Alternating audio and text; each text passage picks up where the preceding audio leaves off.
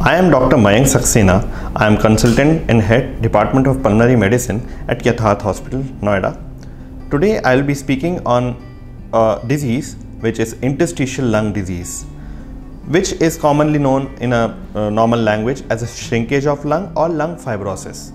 So before understanding the disease, first of all I would like to highlight the symptoms.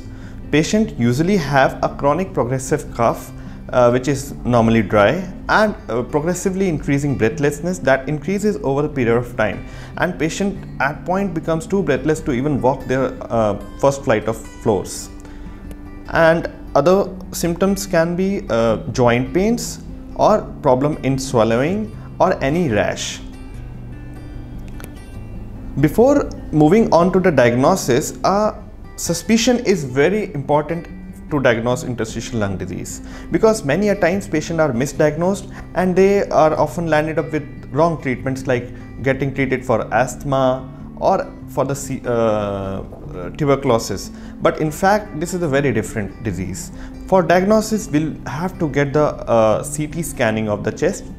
Otherwise the blood investigation the main focus of investigation is to first confirm the diagnosis of interstitial lung disease and uh, to rule out the cause of interstitial lung disease, what has caused? Because there are mainly two types of interstitial lung disease where the cause is known and other the cause are unknown. The commonly known causes like exposure to excessive dust or silica material or any occupational exposure or even exposure to the birds and pigeon so, uh, and uh, uh, other known causes like presence of underlying uh, rheumatological condition like rheumatoid arthritis or any uh, connective tissue disorder like uh, systemic lupus erythematosus.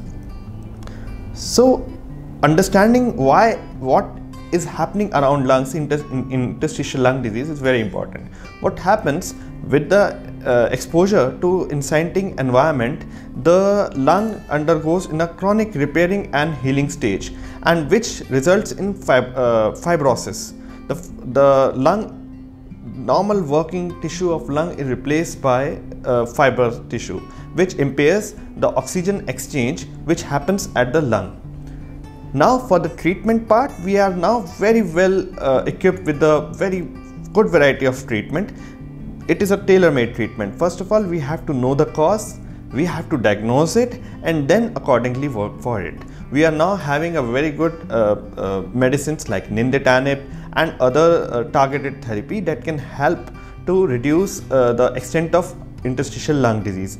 And uh, at Yatharth Hospital, we are very well equipped with all the all the planning strategies and all the things required for the management of the interstitial lung disease and uh, we hope that we would serve better to patients who look forward for the treatment of interstitial lung disease. Thank you.